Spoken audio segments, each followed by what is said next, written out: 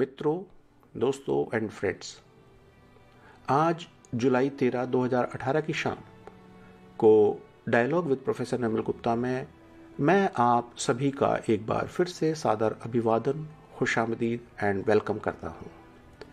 पिछले एपिसोड में हमने पंचायती राज सिस्टम के हिस्टोरिकल पक्ष को जाना था बोथ एंशंट एंड मॉडर्न आज हम भारत के प्रजातंत्र की ट्रेन के पटरी से उतर जाने की चर्चा को आगे बढ़ाते हुए श्रृंखला के पाँचवें भाग में चर्चा करेंगे कि किस तरह से पंचायती राज सिस्टम को इस देश में और किन कारणों से डैमेज हुआ।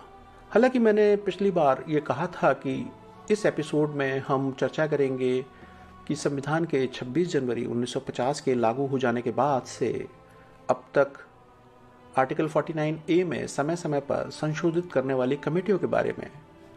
मगर बाद में मुझे लगा कि पहले उन कारणों को डिस्कस करना अधिक उचित होगा, जिनके कारणों से इन कमेटियों को बनाने की ज़रूरत पैदा हुई। इसे जानकर हमको भारत में प्रजातंत्र के डिरेलमेंट के करने और उसके द्वारा हुए डैमेज को समझने में आसानी होगी। साथ ही आप, यानी कि भारत के नागरिक, प्रजातंत्र को किस तरह से हमारे देश में शांतिपूर्वक और संवैधानिक तरीकों से पुनर्स्थापित करने में मदद कर सकेंगे? हो सकता है कि जीवन की आपाधापी से परेशान आप में से बहुतों का मन अधिकांश भारतीयों की तरह कुछ निराशाजनक रवैये से ग्रस्त हो गया हो। मगर मैं आप सभी से फिर भी आग्रह करूँगा कि मेरी इस तकरीर को अंत तक ध्यान से सुने और उसके बाद आप अपने स्वयं के मन और आत्मा से पूछें कि वे क्या कहते हैं। आप सभी जानते हैं कॉन्स्टिट्यूएंट असेंबली के चेयरमैन डॉक्टर भीमराव अंबेडकर का मत हमारे राष्ट्रपिता महात्मा गांधी से काफ़ी अलग था। उन्होंने ये कहते हुए कि भारत जैसे पिछड़े राज्य में पंचायती राज, भ्रष्टाचार और लोकतंत्र की मृत्यु की खाई साबित होगा, अपना कठोर विरोध भी दर्ज कराया था। शायद उस समय ये बात किसी को इतनी अच्छी नहीं लगी होगी, लेकिन आज हम हर स्तर पर उसे चरतार्थ होता देख रहे हैं। खैर, संविधान में पंचायती राज को आर्टिकल 40 के रूप में non enforceable directive principle of state policy के पार्ट फोर में शामिल किया गया, जिसमें स्पष्ट लिखा है कि राज्य यानी कि देश की सरकार देश में हर स्तर पर पंचायतों को व्यवस्थित करने के लिए कदम उठाएँगे और उन्हें सेल्फ गवर्नमेंट की यूनिट के रूप में कार्य करने में सक्षम यानी एम्पावर करने में उनकी हर तरह से आवश्यक मदद करेंगे। संविधान निर्माताओं की इस आशा कि नई पंचायत और नगर पालिकाएँ डायरेक्ट पार्टिसिपेटरी रिप्रेजेंटेटिव डेमोक्रेसी के एक नए युग का इस देश में शुरुआत करेंगे, ऐसा मानना था। वे सोचते थे कि 1950 में लगभग 40 से 60 lakh directly elected people's representative जिनमें एक तिहाई महिलाएँ होंगी, भारत में लोकल गवर्नेंस के द्वारा रिपब्लिकन डेमोक्रेसी के एक नए चैप्टर की शुरुआत करेंगे। आप सभी जानते हैं कि उस सपना का क्या हुआ। हमारे देश में एक प्रख्यात कॉन्स्टिट्यूशनल एक्सपर्ट हैं, श्री सुभाष कश्यप।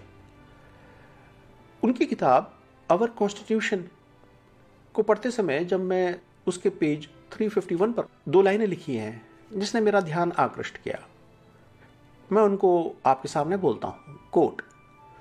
दुर्भाग्य से हमारे देश में पंचायतों और नगर पालिकाओं जैसे दोनों ही संस्थानों को कभी भी संतोषजनक ढंग से काम नहीं करने दिया गया और ना ही उन्हें सक्षम बनाया गया। अनकोट। ये पूरा किस्सा बयां कर देता है। लेकिन हम थोड़ा सा और डेप्थ में जाते हैं। 1984 में श्री राजीव गांधी के देश के छठवें प्रधानमंत्री का कार्यभार संभालने तक पंचायतों और नगर परिषदों और पालिकाओं से संबंधित आर्टिकल 49 में किसी भी संवैधानिक संशोधन को लाने के लिए कोई गंभीर रुचि या पहल संसद के सामने प्रस्तुत नहीं की गई थी और न ही इस पर कोई ध्यान दिया गया था। राजीव गांधी के इस प्रयास को भी केंद्र सरकार द्वारा राज्यों के अधिकारों में हस्तक्षेप करार करते हुए लगभग सभी ने कचरे की टोकरी तक पहुँचा दिए बाद में देश के नवे प्रधानमंत्री श्री नरसिम्हा राव ने 1991 में उसी संशोधन को दोबारा से प्रस्तावित किया। और इस बार वह सेवेंटी थर्ड और सेवेंटी फोर्थ संशोधन अधिनियम 1992 के नाम से 24 अप्रैल 1993 को इस देश में लागू हुआ।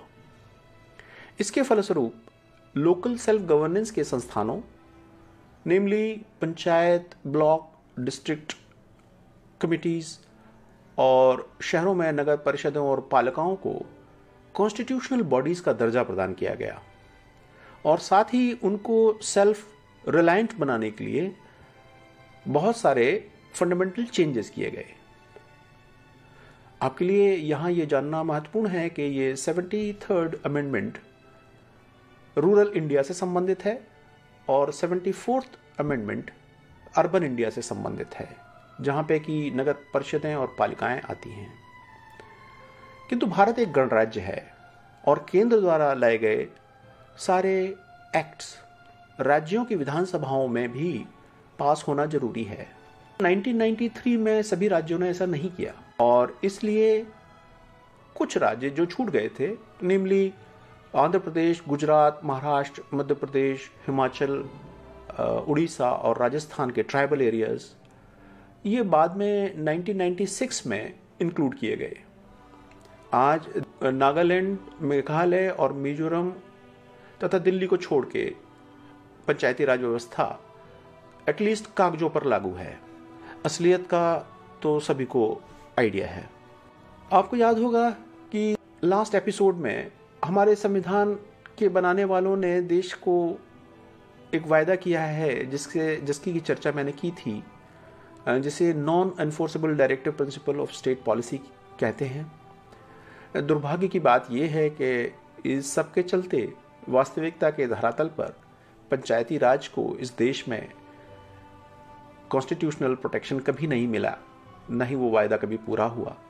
और यही कारण है कि सेल्फ गवर्नेंस की पंचायती व्यवस्था को इस देश में कभी कोई लागू ही नहीं कर सका और ना ही वो हो सकी। इसके पीछे कारण क्या है? इनके बारे में डिस्कस करते हुए मैं फिर से श्री सुभाष कश्यप जी को कोट करूँगा। उन्होंने अपनी ही किताब में ये बात लिखी है कि डेवलपमेंट के लिए हर सांसद को और राज्य में एमएलए और एमएलसी को हर साल करोड़ों की रकम, जिसे एमपी लैट फंड कहते हैं, स्वयं के विवेक से खर्च करने के लिए दी जाती है। इस रकम को खर्च करने के लिए एक गाइडलाइन भी बनाई गई है। लेकिन ये रकम इतनी बड़ी है कि ये एमएलए और एमपी और एमएलसी अपना सारा समय या तो उसको अपने तरीके से खर्च करने में या उसकी रकम को बढ़ाने के लिए संसद और विधायिका पे दबाव बनाते हुए अपना सारा समय गुजार देते हैं। इस रैकेट में लगभग सभी लोग शामिल होते हैं।